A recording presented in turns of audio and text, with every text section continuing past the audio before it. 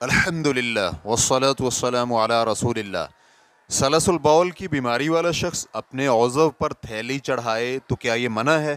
سوال کیا گیا ہے سلس البول کی بیماری والا شخص اگر اپنے عضو پر پلاسٹک کی تھیلی وغیرہ چڑھائے تاکہ نجاست نہ پھیلے تو اس کا کیا حکم ہے؟ کیا یہ احرام میں منع ہوگا؟ الجواب بعون اللہ سبحانہ و تعالی ہم نے یہ سوال فضیلت الشیخ محمد بن صالح الوسیمین کے سامنے رکھا۔ تو شیخ رحمہ اللہ کا جواب تھا، یہ احرام کے ممنوع امور میں شامل نہیں ہے۔ واللہ تعالی اعلم۔